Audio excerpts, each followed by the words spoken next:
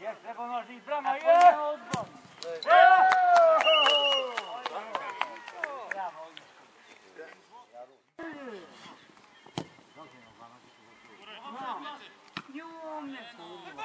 Krzysiek, nie czekaj! Prokop, nie czekaj, tylko do piłki! Ja nie, ja to muszę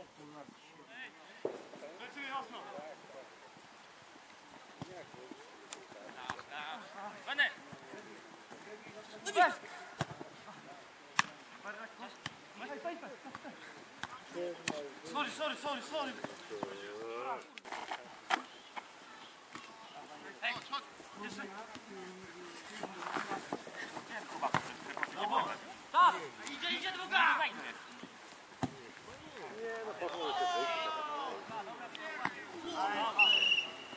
Panowie, nie graj!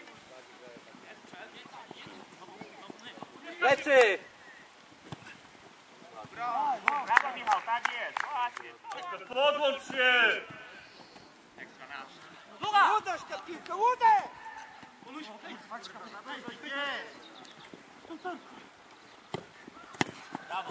Popraw się, tak! Weź, weź, weź!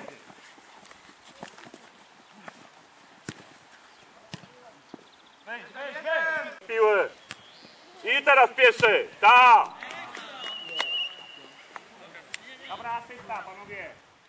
Znaczy, no ten sparring to potraktowaliśmy yy, tak ulgowo ze względu na to, yy, że szukam młodzieżowców i przyjechałem praktycznie składem yy, chłopaków, których sprawdzamy i, i przymierzamy do swojego zespołu, więc no, ani zgrania tam tak, takiego nie było, ani yy, tych, ale to, to nie jest ważny był wynik.